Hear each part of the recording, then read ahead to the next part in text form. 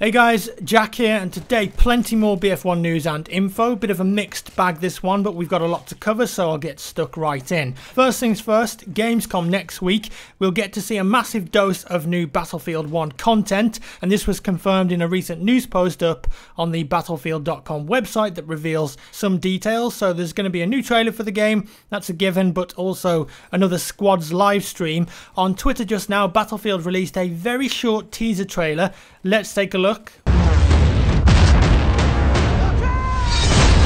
Horses, planes, bombs, flamethrower dude, swords, oh my god, it's got it all, the hype is real. And the full trailer will be released tomorrow apparently, so expect a full breakdown of that on the channel. Now if you remember back at EA Play, they had a big live stream with YouTubers, celebs, Snoop Dogg smoking weed, showing off the gameplay on Quentin Scar for the first time. There'll be a similar live stream event from Gamescom next week, Tuesday, August 16th at 12pm Pacific time, which is 9pm CEST, that's generally European time. A new Battlefield Squads live stream will show off a new map going on a destructive adventure into the desert to showcase the new map, filled with points to capture, horses to ride, nay, and things to demolish. So it's likely that the new map is going to be set in the Wadi Rum in Jordan. That's the desert map we've seen a few times in the trailers with the armoured train and the, the horse riding. And it's famous for the Wadi Rum train attack during the Arab Revolt of 1916.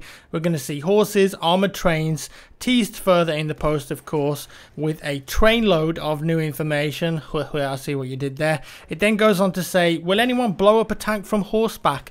Perhaps insinuating that if you're on a horse, you have anti-tank weaponry as an option. That sounds incredibly cool, riding past a tank at full speed, sticking a bomb to its tracks and watching it blow up over your shoulder as you gallop into the sunset. So very exciting times next week. I'll be offering up all of the coverage I can of the new content too. We've also got more info on the new Operations game mode, which I haven't covered on this channel before. In it, the outcome of the current round continues over to the next map, giving you the opportunity to fight a sequence of interconnected battles. It looks like whether you win or lose here will have have an impact on where the server goes to next. Help me. And from the Battlefield website, it reads this Operations offer epic journeys across several maps based upon real battles of World War I. We wanted to offer a large and epic experience with a focus on team play and frontline combat. Adding this meta layer to the game and stretching it across multiple interesting locations that both look and play very differently adds a whole new layer of scale and variety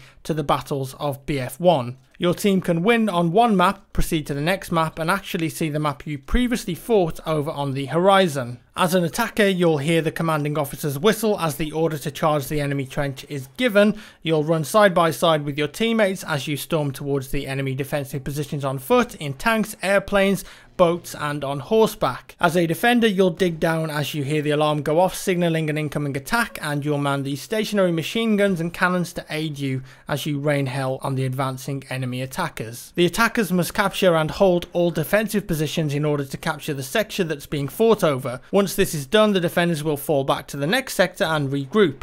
The pacing and variety between the different sectors vary widely since each sector offers a different amount of objectives to capture and defend as well as varied layouts and choke points. So maybe multiple objectives there like capture points, MCOM stations, something like that. The attackers must take territory and push the front line forward while the defenders are trying to hold the line. Should the defenders fail to hold their ground on a map, the operation doesn't stop there. They'll fall back and regroup on a different map while the attackers will continue to push. Sectors may fall, but players are reinforced by gigantic behemoths that can still turn the tide. So it could be a similar system to Conquest. If one team is losing over and over again, they might get a behemoth to come in, so either a airship, an armoured train, or a dreadnought. We wanted to create a Battlefield experience that was not just bite-sized but actually spanned beyond an hour of playtime, something epic and compelling for players who wanted a chance to immerse themselves in the first global war and then go ahead and capture the stories of how different battles were deeply connected to one another. This kind of frontline combat really captures the essence of World War I clashes, intimate and deeply rooted in breaking through or holding ground. Very interesting this, so it looks like the operations game mode is kind of like a progressive, almost story mode in multiplayer I suppose, where one team attacks and the other team defends. Kind of sounds like Turning Point at times from Battlefront, but on a much grander scale, maybe with multiple objectives because you've got bigger maps, more players, more vehicles, etc. Just with a bit of narrative in the multiplayer to tie it all together.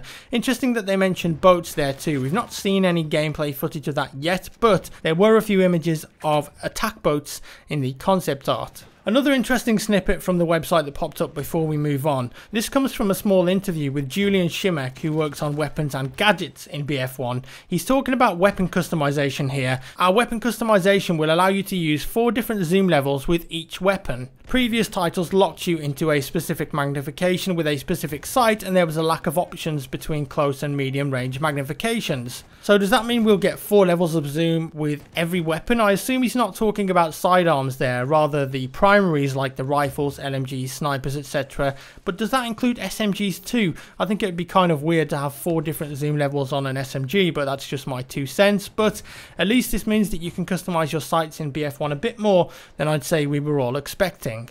Moving on, let's talk about Premium. Still no official word if Battlefield 1 Premium is going to be a thing. For BF4, Premium was announced on the 20th of August 2013, a couple of months before release.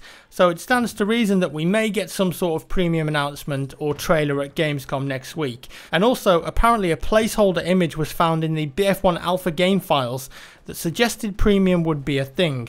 However, we've literally heard nothing about it officially yet, and if we look at the pre-order bonuses for the game, it paints an interesting picture. The two normal versions of the game you can pre-order are the early enlisted deluxe edition and the standard edition. You can also get a collector's edition that comes with a statue, but that's another thing. The standard Standard Edition gets you the game, but also the pre-order bonuses of the Hellfighter pack, which is an M1911 pistol skin, I think, a Harlem Hellfighters insignia, a Hellfighter trench shotgun, and a Hellfighter bolo knife. But most importantly, it gets you this, 7 days early access to a brand new free map that EA DICE will release later in 2016. The deluxe version gets you everything from the standard pre-order version, plus 3 days early access to the game, 5 battle packs, as well as the following, Red Baron pack pack, and in that you get the Red Baron's triplane, the Red Baron's P08 pistol, the Flyer Pin, the Lawrence of Arabia pack, the Lawrence of Arabia's Black Stallion, his SMLE rifle, his Jambiya knife, and emblem.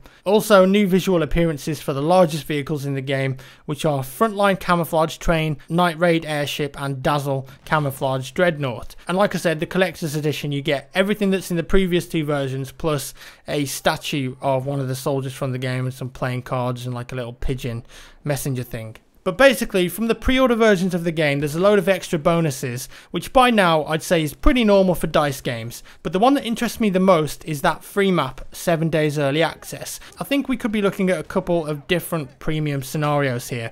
The first one and the most likely scenario is that DICE are going to offer free maps every now and again, like they did with Star Wars Battlefront. Maps that are free for everyone, which is cool, maybe once every 2 to 3 months, let's guess. But also, I think we'll get premium on top of that as well, with bigger map packs that you have to pay for to access. Because realistically, look at it from a business perspective, BF1 has so much hype for it, a premium service would sell like crazy, there's no doubt about that. Bit of a long shot here, but there is maybe a slight possibility that there might be no premium for BF1 and all maps will be free to play on, and and EA will monetize the game in a plethora of other ways, as is evident with their pre-order bonuses, so stuff like skins, customization, emblems, etc. In an ideal world, I think this is the best option for the game and the player base because it doesn't split the community up. If you own the game, then you can play every new map that's released going forward. That would be the perfect scenario for me. I don't have a problem with microtransactions if they're cosmetic or they give you like more XP bonuses, for example. Titanfall 2, Halo 5 and Rainbow Six Siege are operating now with similar models, so why not BF1? It's a possibility and we can always hope, I guess. And will there be a continuation of the Phantom program too, or something similar to that? And if there is, will that be premium only again? Perhaps if you don't have to pay for map packs, maybe you'd have to pay for access to the Phantom program stuff. I think the success and popularity of the Phantom program proves that it should feature in Battlefield 1 behind the scenes and hidden away for those people that want to get involved with alternate reality games like that. It was really fun for me and a lot of other people, and it's an experience that you can't really get in other games. Perhaps with the game being set in World War One, we might see the origins of the Phantom program, its inception. That could be very interesting. Let me know your thoughts on that down below. And that's all for today, folks. I hope you enjoyed the video as always. The pictures that have been on the screen in the corner, if you hadn't already guessed, were from people who bought one of my t-shirts and tweeted their pictures at me. Uh, thank you very much for that, and if you saw yourself, make sure you comment down below. There will be another limited edition t-shirt design up for grabs in a month or so if you missed out on the first one. Thanks for watching guys, remember next Tuesday 16th, tune into the channel, tune into the live stream, there's going to be a load of new BF1 content up, it's going to be pretty exciting. Give me a thumbs up if you enjoyed the video, a thumbs down if you didn't, and I'll see you in the next one. I'm fucked up, I'm black and blue, I'm built for. I got secrets.